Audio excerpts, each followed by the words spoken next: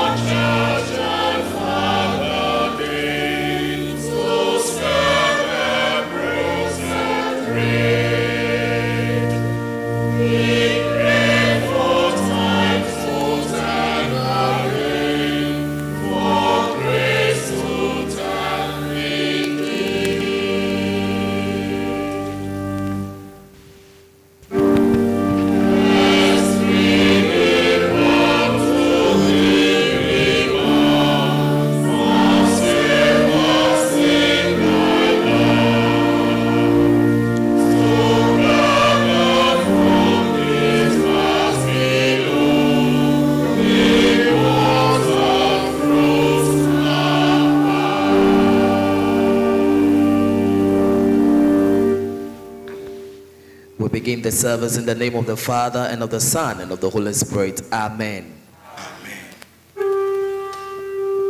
Oh Lord, open our lips.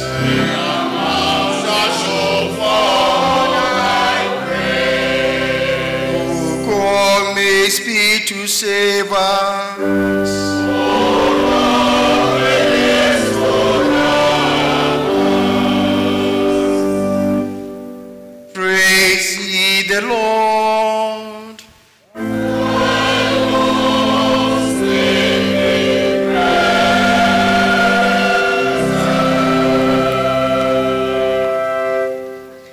The psalm for this evening service is Psalm 119 from verse 17 to 32. Psalm 119, 17 to 32.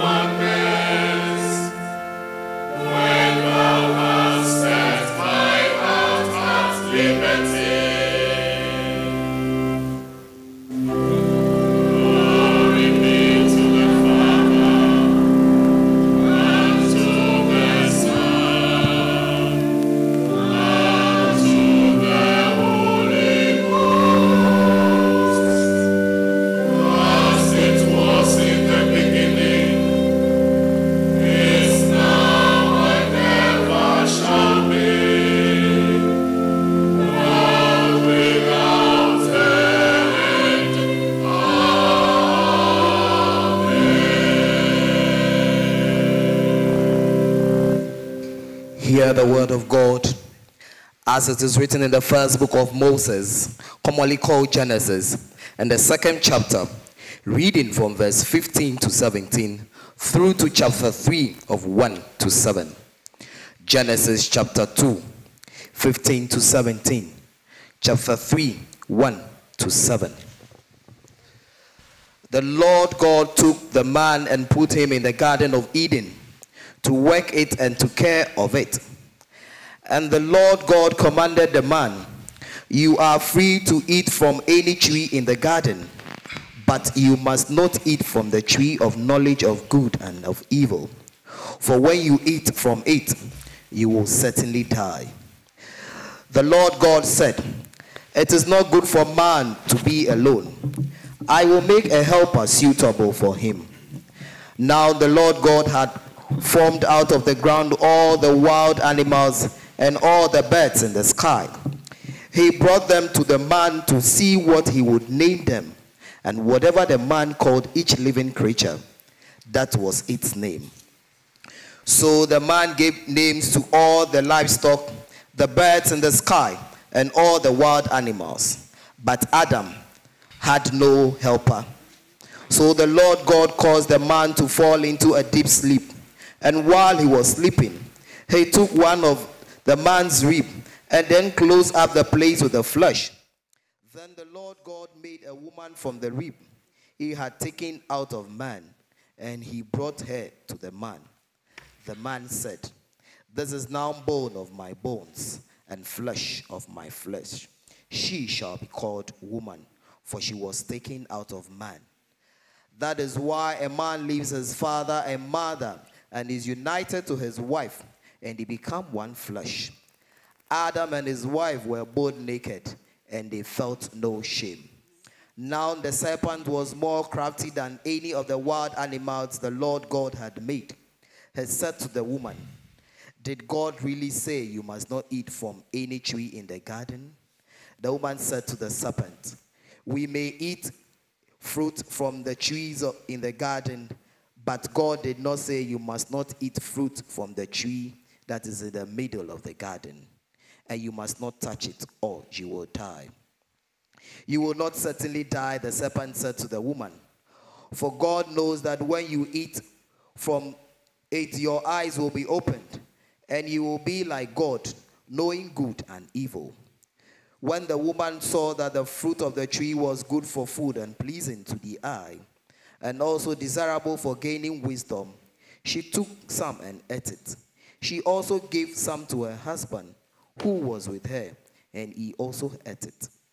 Then the eyes of both of them were open, and they realized they were naked. So they sewed fig tree together and made coverings for themselves. This is the word of God. Office hymn supplementary 5. Supplementary 5.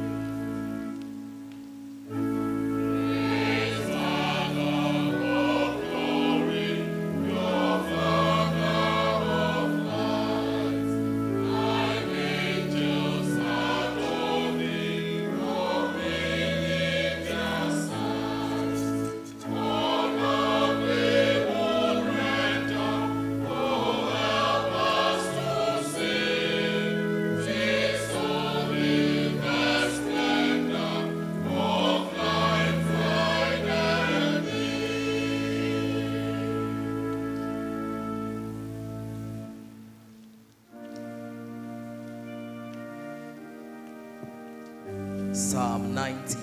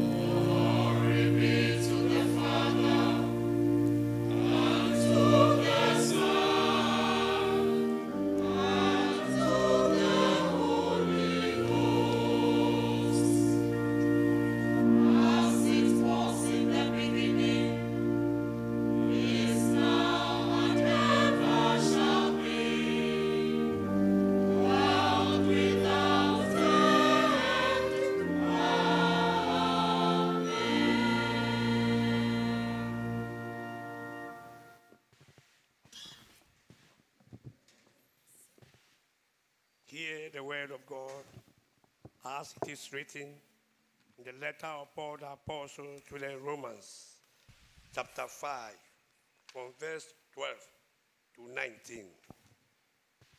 Romans chapter 5, from verse 12 to 19.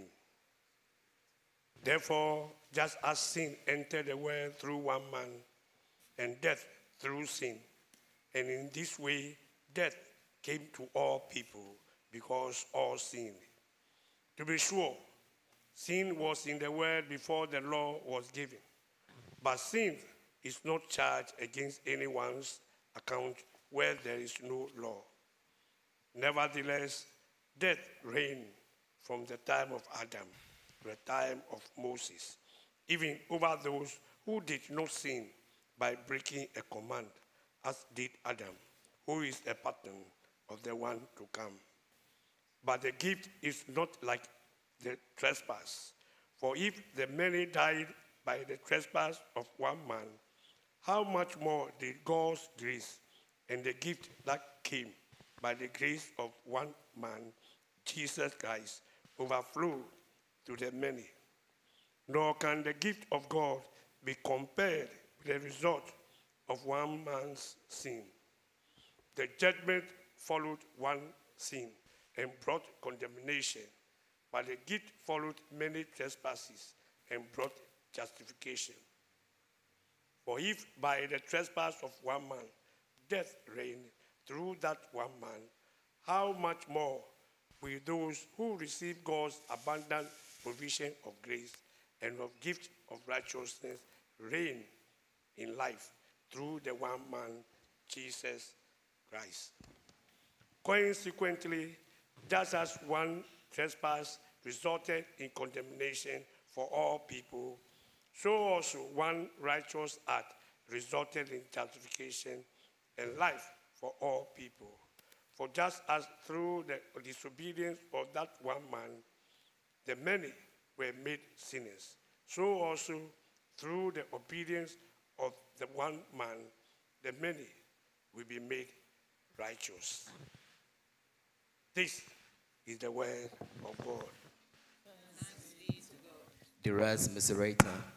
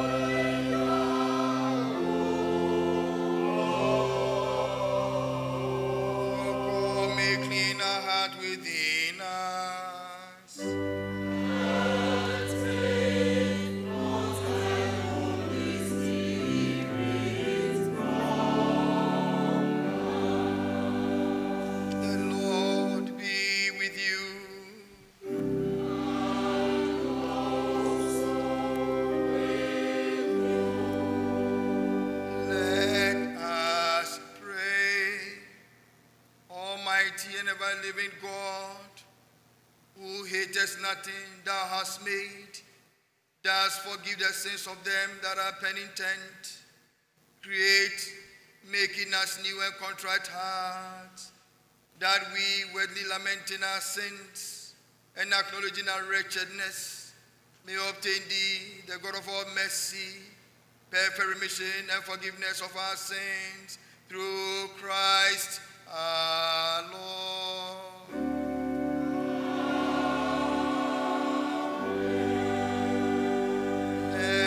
Us pray, O Lord, for who are sick did fast 40 days and 40 nights.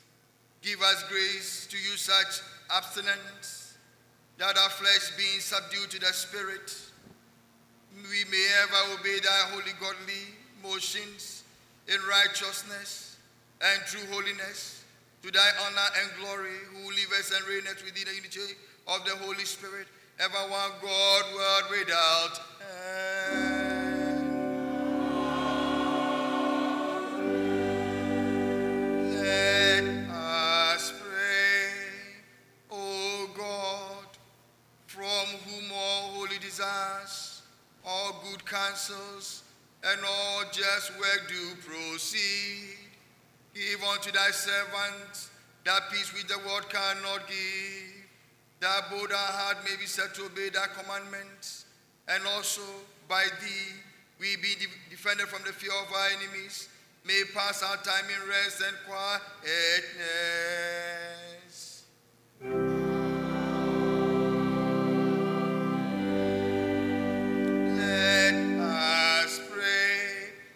Lighten our darkness, we beseech thee, O Lord, and by thy great mercy, defend us from the perils of this dangers of this night. For the love of thy Holy Son, Jesus Christ our Lord, who lives and reigns with you in the unity of the Holy Spirit, ever one God, word without end.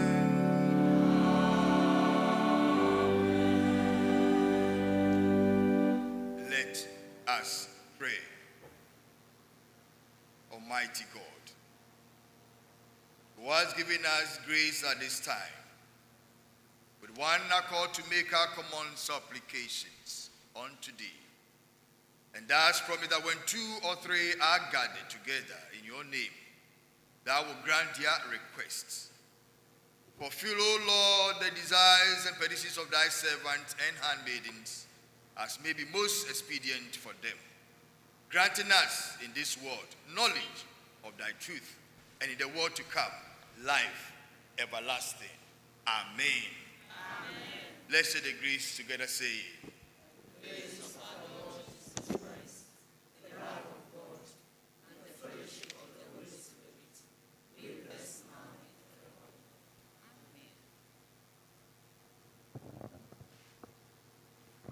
Hymn 243, 243.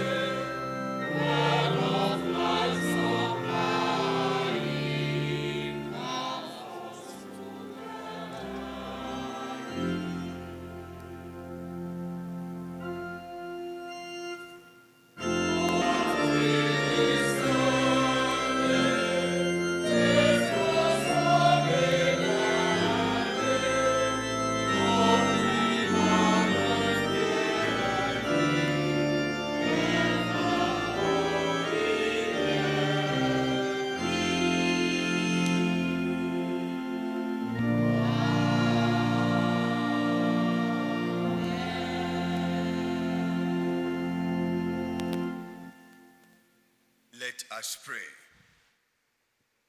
So, Lord, we continue with you. We thank you for how far you brought us. We thank you for all things and in all things. Guide us with your Holy Spirit. Speak to us and touch our hearts. May we, individually, as a church, a nation, continue the good work and assignment you have given us to do. Till we are done, may we not quit. May we not turn back. Forever and ever. And we pray with thanksgiving? Amen. Amen. Beloved in the Lord, I share with you shortly the homily entitled Finish Your Divine Assignment. Finish your divine assignment. And it's from the readings that we had Genesis chapter 2, 15 to 17, then chapter 3, 1 to 7, then Romans chapter 5, 12 to 19, and then Luke 13, 31 to 35. Beloved in the Lord, everyone born on this earth has an assignment to fulfill. Everyone has a divine assignment to which he or she is born to a particular family, locality, community, or a nation.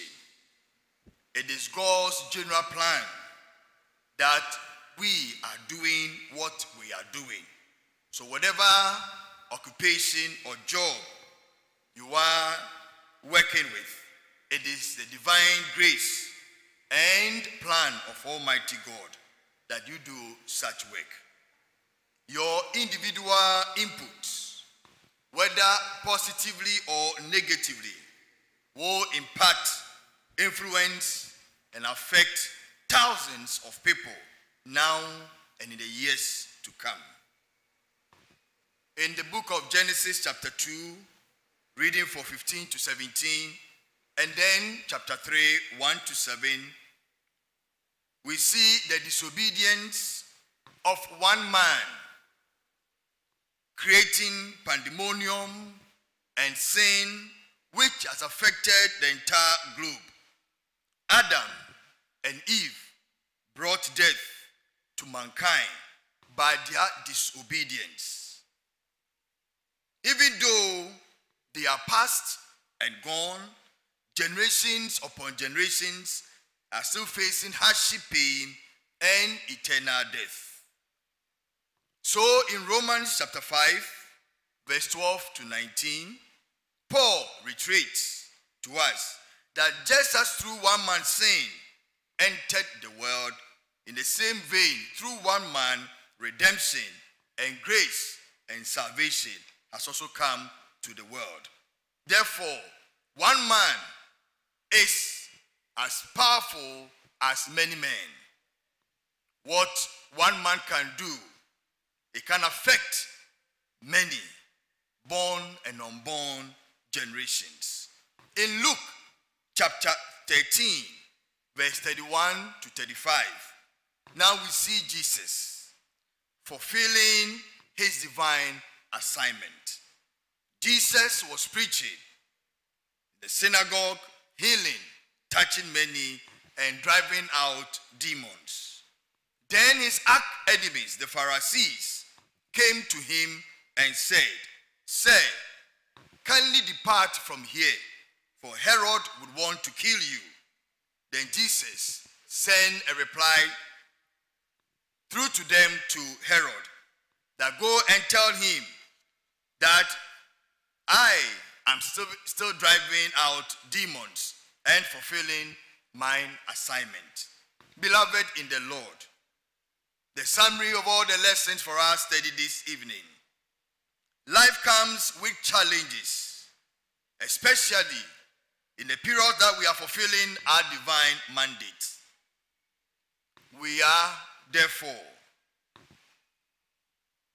encouraged to be focused, determined, and conscientious on the mission to which we are embarking in.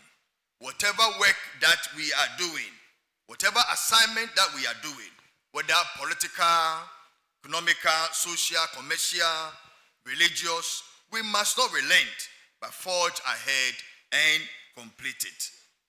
We should ignore negative criticism as Jesus did with the Pharisees. There will be backbiting, there will be catcalls, there will be lukewarm attitude, there will be sharp tongues of members and others trying to bring us down or divert our attention. Two, we should weigh suggestions, counsels that come to us. As we fulfill our mandate, people will advise us, people will talk to us. Some will be genuine, some may be for mischief hearts. The Pharisees came to Jesus and were asking, telling him, Say, depart from here, for Herod wanted to kill you. Meanwhile, they are in pact with Herod and they never liked Jesus. So, how come, at such notice, they were trying to help Jesus? So, when people advise us, especially when you're on your mission to fulfill your mandate, weigh by prayer, by careful consideration, and by sometimes advice from higher authority before you decide. The Pharisees are like some of us. We come and speak to you nicely, but behind your back, we want your downfall.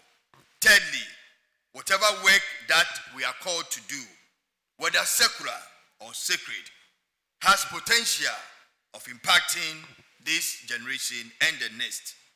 We can alter destinies and our families, colleagues, even the church by the work we do. And finally, shall we pray that grace may be abound for us and with us, even as we embark on our divine assignment on earth.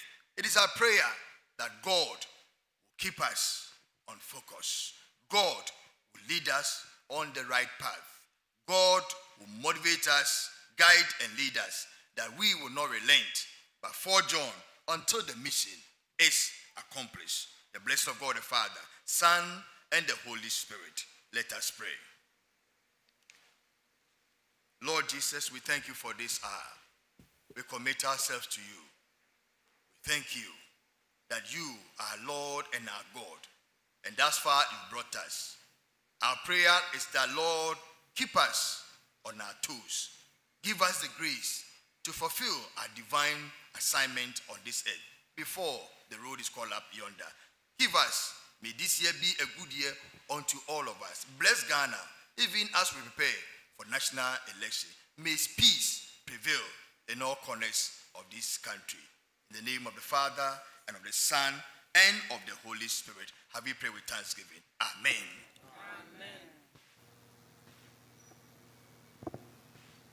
Recessional hymn 27, the first and the last stanza. 2 7.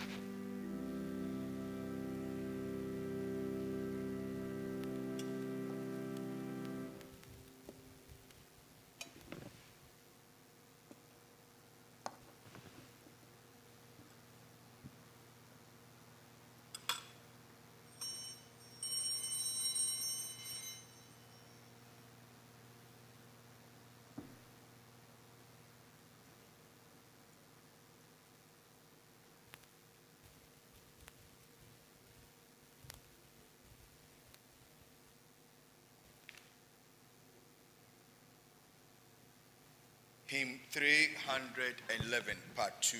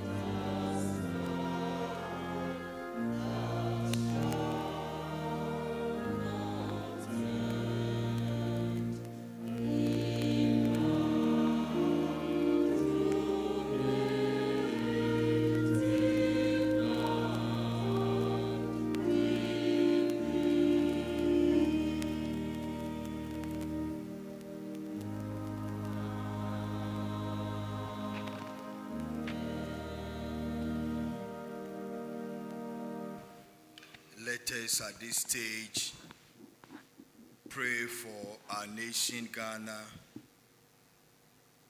Shall we intercede that there will be peace before, during, and after the elections? Pray that God keep our borders secure from any attacks.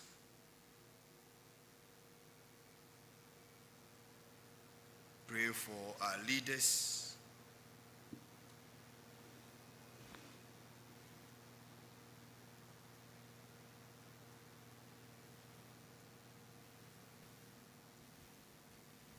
Lord, in your mercy, let us pray for the church that Christ came to build. Let us pray for full spirituality. Let us pray that the church will be one and a place for solace and salvation. Pray that the church will be united to build and save souls.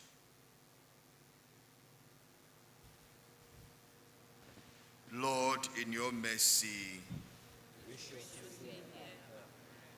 let us pray for our families. Let us pray for our children. Let us pray for our siblings. Remember your spouses.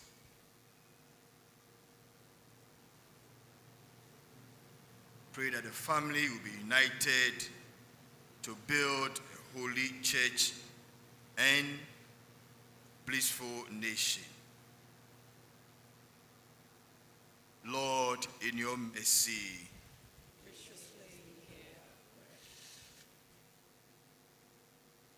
Anima Christi. Soul of Christ, sanctify me.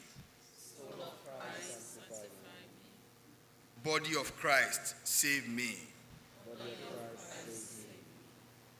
Blood of Christ, inebriate me. Blood of Christ inebriate me. Water from the side of Christ, wash me. Water from the side of Christ wash me. Passion of Christ, strengthen me. Passion of Christ strengthen me. O good Jesus, hear me. O good Jesus, hear me. Within your wounds, hide me. within your arms Permit me not to be separated from you. From the wicked foe, defend me. At the hour of my death, call me. And bid me come to you.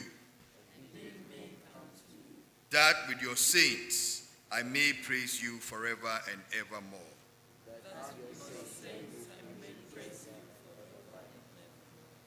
Hymn 309, 309, part 2.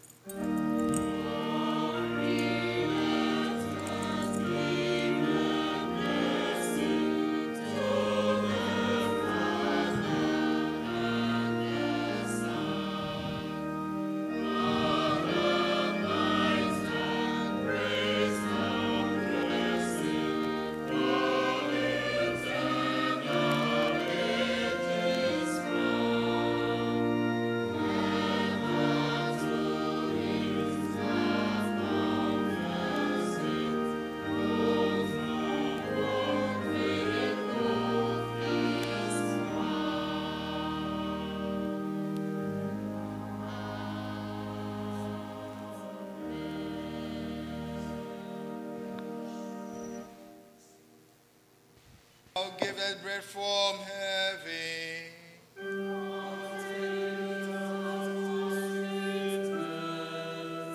Let us pray.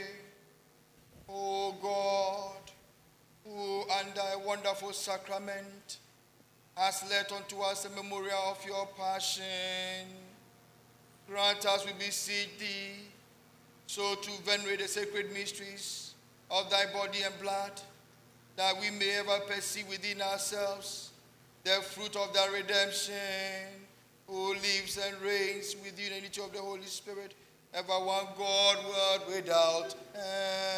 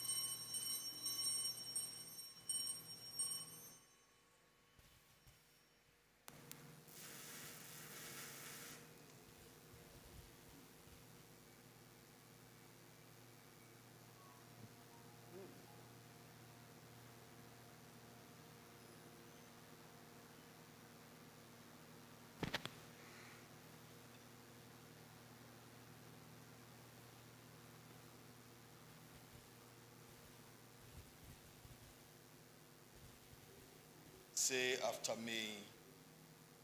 Blessed be God. Blessed be his holy name. Blessed be Jesus Christ, true God and true man. Blessed be Jesus Christ, true God and true man. Blessed be the name Jesus, the name of Jesus. Blessed be the name of Jesus. Blessed be his most sacred heart. Blessed be Jesus in the most holy sacrament of the altar.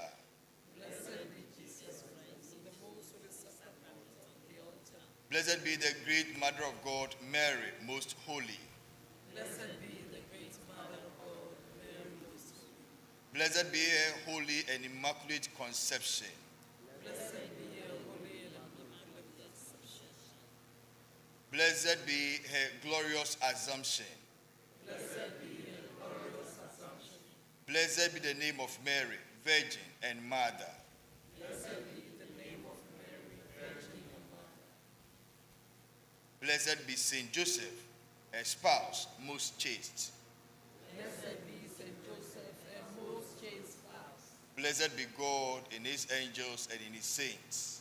Blessed be God in the angels and in the saints.